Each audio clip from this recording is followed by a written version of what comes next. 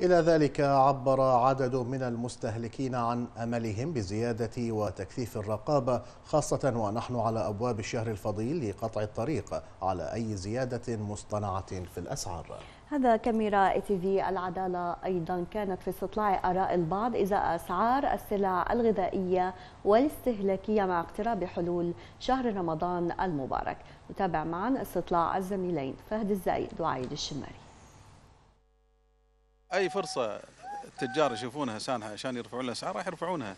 يعني لاحظ الكمامات وقت كورونا ارتفعت بشكل مبالغ فيه. نعم في ارتفاع عالمي بس مو بالشكل أو بالسعر ارتفع عندنا في الكويت.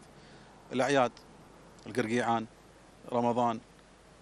هذه مشكلة. طبعا وزارة التجارة تحاول تحد من الموضوع هذا تطلع تفتيش لكن مستحيل. المسألة مسألة ثقافة المستهلك. المستهلك نفسه ما دام عنده فلوس التاجر يقول لك والله يدفع. ارفع مالك شغل يدفع. دام الناس تدفع التاجر ليش ما يرفع؟ يرفع. التمور أكيد راح ترتفع في رمضان. كل شيء راح يرتفع طبيعي في رمضان. مو بيد وزارة التجارة. ما أقدر تدش كل محل مستحيل. برمضان وبالحظر تحديدا. تزيد وما في مراقبة ما في رقابة. بالجمعيات قبل الأسواق الثانية نفس مثلا بدون ذكر أسماء بشكل عام يعني. تزيد وبشكل واضح يعني. الأسعار مرتفعة أساسا.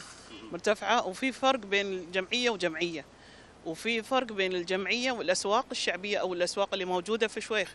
يعني راقبنا الأسعار لأن إحنا مثلا أنت قاعد توزع زكاة أو توزع صدقة أو إنك قاعد تأخذ سلع غذائية ففي ارتفاع كبير. في فرق بينهم في فرق كبير. وأسباب ارتفاع الأسعار إن ما في رقابة. لو في رقابة شديدة على هال على هالعالم ما كان في هالارتفاع هذا وهالفرق اللي تشوفه. زيادة وزيادة ممكن راح تصير تضارب فيها. راح تصير المعيشة راح تصير غالية حيل غير التمر غير اللبن غير الروب وغيره وغيره وغيره الأمور الغذائية.